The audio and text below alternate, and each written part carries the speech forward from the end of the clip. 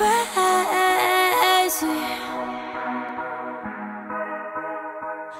guys, it's Mary. Welcome back to my channel. Today I'm going to be doing a winged eyeliner tutorial. I do not go a day without doing my winged eyeliner, so I just wanted to show you guys how I do it. The eyeliner that I use is this Revlon ColorStay eyeliner. I think it's in the color Blackest Black or something, but you can just pick this up at Target. I think it's only like $5.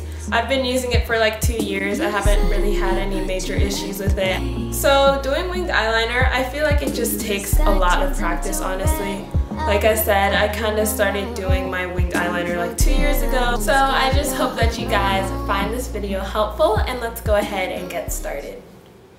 Alright, so first off, I'm just going to draw a line along my lash line which I'm going to demonstrate to you guys in a second. Let's go ahead and get started.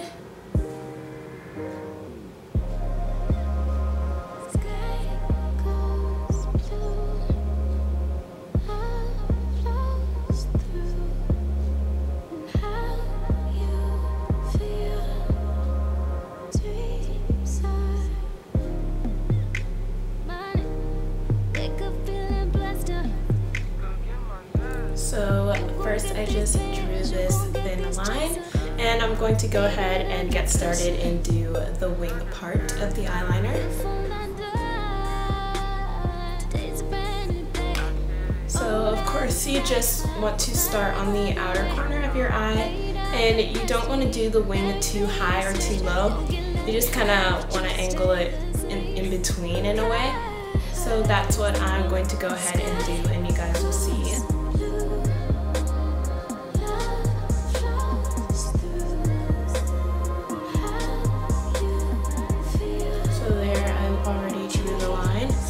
then I'm just going to connect the end point of the line to about the middle of my eye.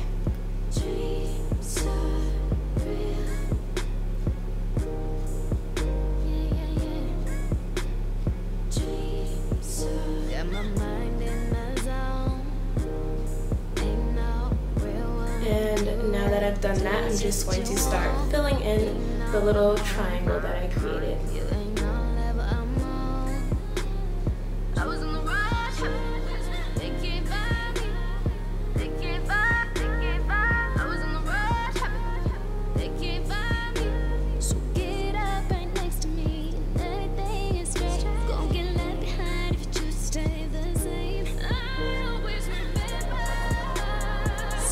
And I'm just going to kind of straighten everything out now.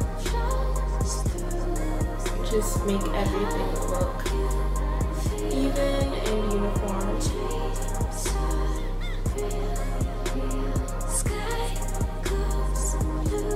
Actually, I like the way that it turned out today. Pretty good. So that's this eye and then here's that eye. They're actually pretty, pretty flaky today, guys. So, um, yeah, that's how I do my eyeliner, guys. That's pretty much it. And I'm actually, I think I'm going to touch up the end a little bit more.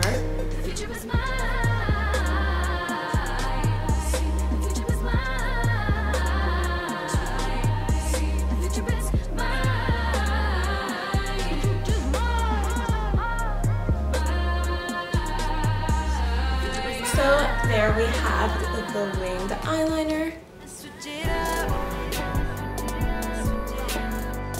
Alright, so I just wanted to show you guys how I do my winged eyeliner. I feel like my makeup is just not complete without it. Hopefully you guys learned something from this video or found it helpful. And if you'd like to see any other specific tutorials from me or if you have any other suggestions, just let me know and go ahead and subscribe, leave your comments, give it a like and all that good stuff. And I hope you guys have a good day. I will see you next time.